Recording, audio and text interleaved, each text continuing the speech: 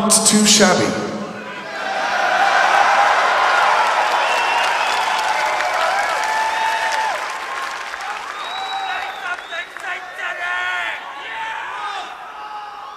Um, when I came in here this morning, I had a cup of coffee, kind of knowing I'm having a cup of coffee inside the Royal Albert Hall, but not really realizing it's fucking massive and shit. I walked out here on stage just like fucking. Because we figured we're gonna celebrate our 20 years, 20th anniversary in a pub. And not fucking film it. Do you know they're filming you guys again?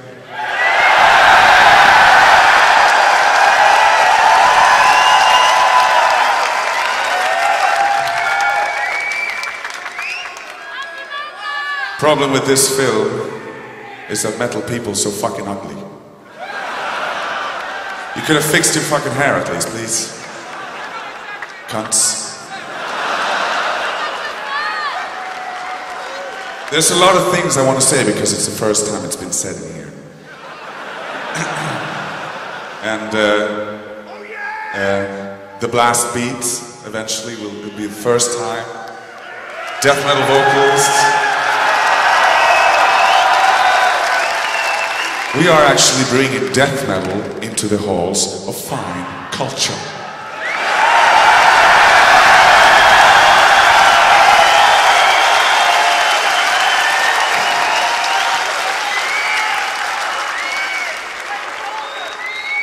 We're gonna continue with. Uh... We're not gonna play that shit again. We want to play something, uh, something old. We're gonna play in. I can tell you right now, just spoil it, whatever. We're gonna play in chronological order, starting with what you just heard, a song from the first record, and finishing with a song from the last record. Correct. Second album was called Morningrise. Thank you. We've been rehearsing quite a bit to try and uh, pick the pieces up. And, uh, yeah, whatever. We're gonna play this song. It's called Advent.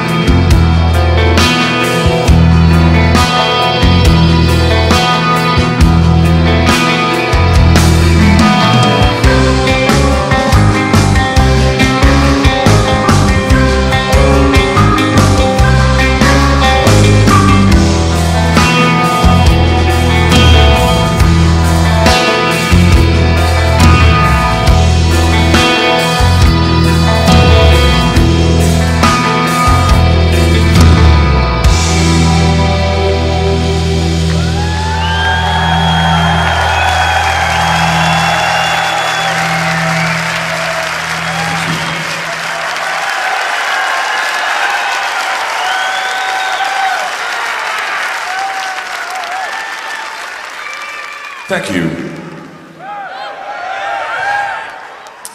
Uh, what we're gonna do once you guys have fucked off after the show, we're gonna take a picture in those seats, just like Deep Purple. Then I'm gonna head out to the statue and take a, a picture in the stairs, just like Camel did. And then I'm gonna uh, snort some heroin and jerk off just like Eric Clapton.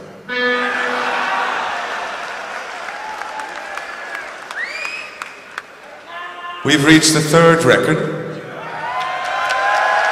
by which time I was 10 years old. And uh, Martin Mendez had uh, just uh, joined the band.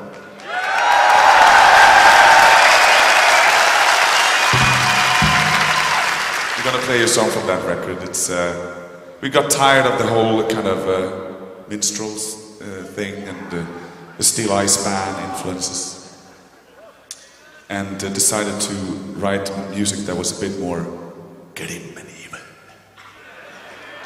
And this is the result. It's called April Ethereal.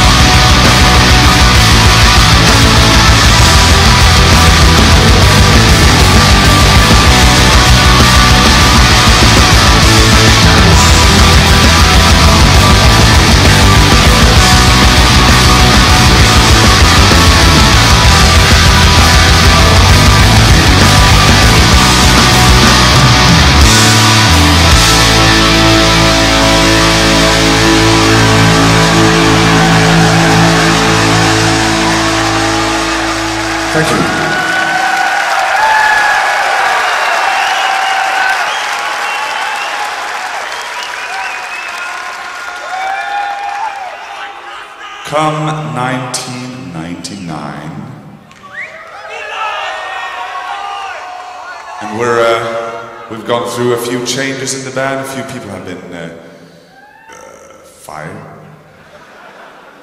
and uh, we had a new lineup consisting of myself, Peter, uh, Martin Mendez, and Martin Lopez on the drums. Thank you. I'll forward that to them. Um, and we did this album called Still Life. Signed to a, a record label called Peaceville Records. Put the, put the album out, I can't remember when it came out. But uh, 99 maybe? Good guess. And uh, I was uh, really poor at, at the time. I, I was, uh, I didn't have uh, any money. I was collecting coins to buy canned meat and uh, cigarettes. And I didn't have any means to record uh, the demos or anything, I just wrote it down on paper, which kind of feels a bit strange now looking back because that album is fucking complicated. And I don't know how to write music, I just wrote like Morbid Angel sounding riff four times. Freaked out brig- bridge and the, the Bathory A part. But it worked. We, we made uh, this record and we're gonna play a song that's, uh, I, I guess, the most complicated one. It's called The Moor.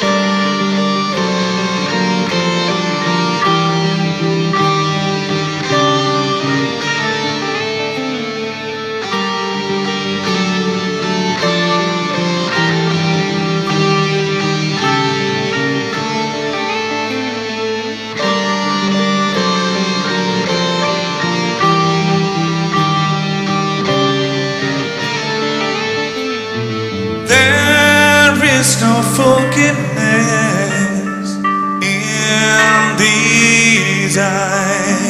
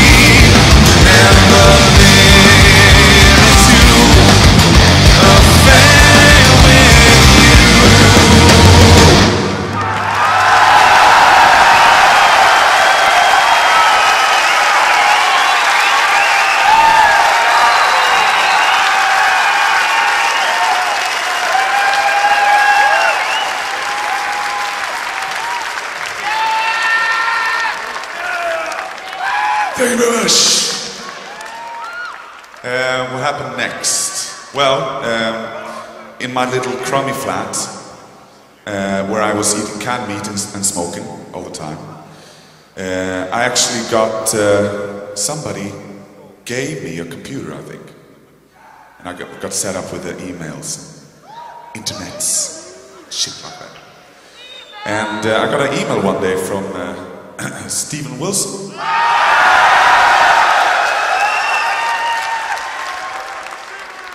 who said that um, you guys are the greatest band of all time, you are the most genius songwriter, and Porcupine Tree wouldn't be around if it wasn't for Opeth.